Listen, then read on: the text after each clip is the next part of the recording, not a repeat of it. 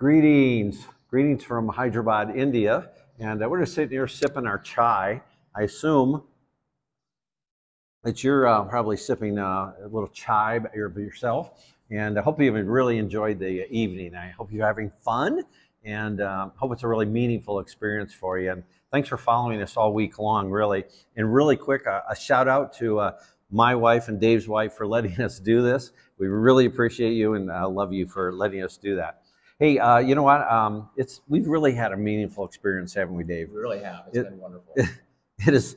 Uh, we have no words for it. Uh, just so excited. We met so many wonderful Indian people along the way. I mean, they're just so friendly and so kind, and want to have their pictures with us. And uh, I, would you come up real quick? Come on up real fast. I, I just met these guys minutes ago. Okay, because this little uh, daughter's up for adoption, and uh, they were telling me her story, folks.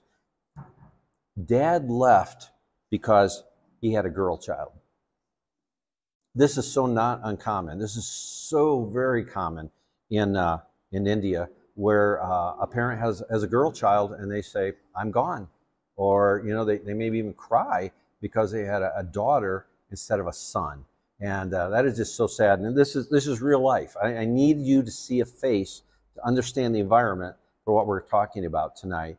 And uh, it's very sad, but mom's doing a great job here, and. Uh, and she, again, she came because she needs some assistance. So this little girl's up for sponsorship. But that's not what I wanted to point out as much as is the hard life of a girl child in India and, and a parent. Okay. Thank you so much. Appreciate that. Thank you. You know, we've had some of our, share of uh, security concerns, which kind of our posts kind of had to be kind of dumbed down uh, a little bit because we can't use words like Jesus and even raising money in any way and showing that child's face uh, puts us in danger but also puts our, our partners in danger. So we had to really be careful there. But I, you maybe you've heard this, but this is so crazy. Dave, we were on a plane. We were on a plane flying to India, and while this is happening, our tuk tuk is stolen. It is hidden, and it is being disassembled. And uh, I mean, you know, justice grows uh, grinds very slowly in India.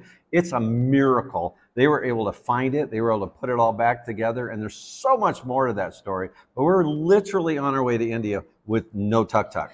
Mary is over here having, uh, you know, conniptions, and uh, wow, we just appreciate uh, your prayers. It really means a lot. Quickly, come on up, um, Mary. Uh, this is, I just want to show you her face. This is Mary. Uh, she is just worked so hard for us, and she talked about really a lot of spiritual welfare. I can't even talk. Warfare. That's the word uh, over this last, uh, you know, two weeks. I mean, they really suffered uh, in many ways, emotionally and mentally, uh, preparing for this trip. She's uh, really the brains of our outfit, and her sister Sarah is actually running the camera. And between the two of them, they just do an amazing job. And we appreciate you guys. Thank, Thank you. Mary.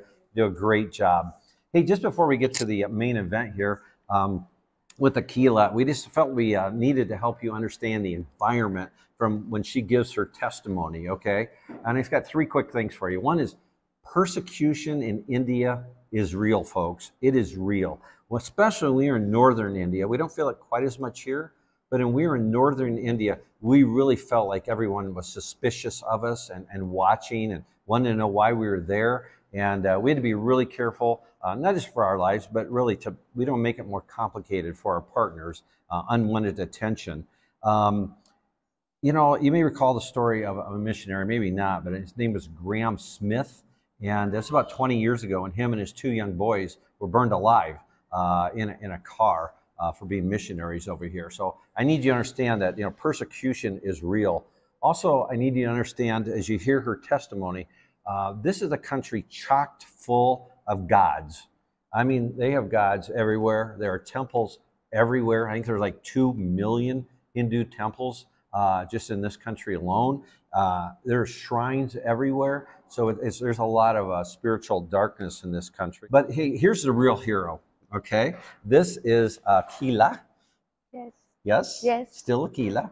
And uh, we've known her uh, many times over the years, and we love having fun with her. And uh, she's been in the program as, as a child and also as, as a youth. And she took a four hour bus ride uh, for one reason. Okay, she, we're not paying her money to be here. Uh, she wanted to talk to you. She wanted to be able to tell her story. Start off with this: What circumstances brought you to this orphan home, which was called Home of the Champions. Before came to this home, uh, uh, when I was in second standard, my dad was uh, died with appendix pain, and my mom, when I was in uh, seventh standard, she was died with cancer. Uh, there is uh, nobody is care, take care about me, and only my grandmother is there.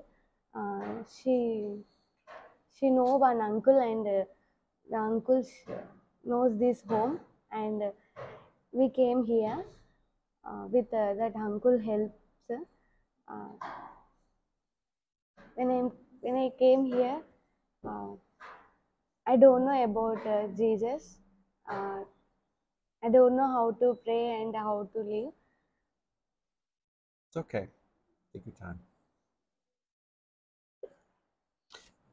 You've had a hard journey, haven't you? You've had a hard journey. And Let me, how, how is it, how have you benefited from being here, would you say? What was the benefit of being a part of the program? when i came here um, i got good clothes. Before there is no clothes to wear also. And i don't know about jesus also. When i came here i know about jesus. And uh, mm, firstly i came here i feel very lonely. Uh, but here caretakers and sisters and brothers, Uncle Sudhakar, uh, they caretaker me more. Uh, this is suggestions you can live here means you you got you gods give you good good life to you.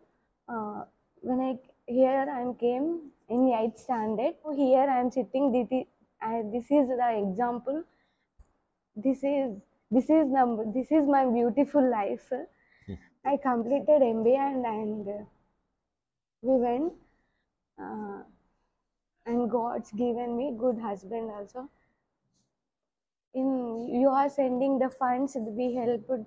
The fund helped me more. Uh, we for education, training, mission, and uh, uh, You know, you actually have a master's degree, right? yes, Yeah, in like accounting. yes, Okay, so she went from these very harsh environment, made her way here, and then with the help of Forgotten Children, you were able to go to university. You got a master's degree. yes, You have a- a job in accounting. yes. Um, come on, isn't that great? I mean, man, we should all be, you know, celebrating with a big praise Jesus. Okay, that is really great. We're so happy for you. Let me just ask you, uh, maybe just one more question. What What would you like to say to the people living in America? You can say anything you want. I have no idea what you're going to say. This is not a setup. Okay, what What would you like to say? Here in India, the orphan children they don't take care more.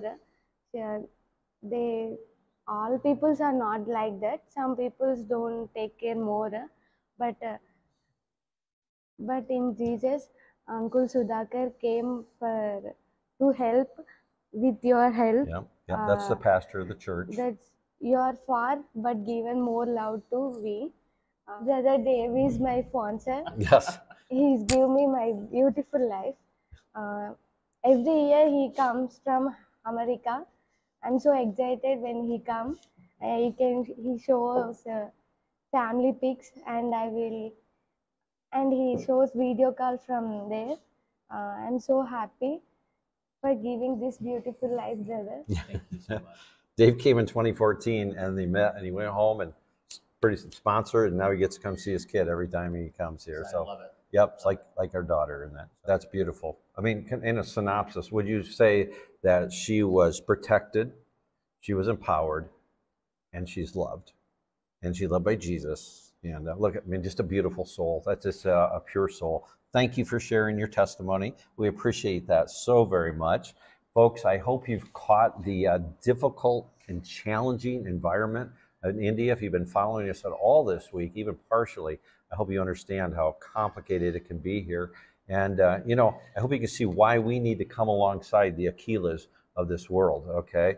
Uh, especially if you're out of caste, by the way. And if you're a girl, you have such a steep incline. And, uh, you know what? Uh, I'm just going to talk to believers here quickly and we'll let you go. But, you know, as believers, you know, justice is supposed to be front and center for us as Christians, right, Dave? Absolutely. I mean, it's just in the Old Testament, in the New Testament, if you follow Jesus at all, he, he is about justice. And you might say, okay, man, I, you know, some people struggle with that term justice, but uh, I hope we don't. We shouldn't because it's part of our mandate. I would I define it this way. I wrote it down. Justice is stepping up anytime someone gets kicked to the curb. If somebody gets kicked to the curb, if they're marginalized, if they can't, they don't have a handle to help themselves out, somebody has got to supply that to them. They can't pull themselves up by the bootstraps. They need us to give them a bootstrap. And that's what tonight is about. I just, I just, you know, with all within inside of me, I hope you'll be generous and I hope you'll think about what you've heard this week, but what you've especially seen tonight and resonate and just just do what you wish someone else would do for you if you're in this situation. That's all we're asking. That's between you and God. Thanks so much. Appreciate you guys. Have a good evening, all right? Eat the rest of your dessert. Good night. Hmm.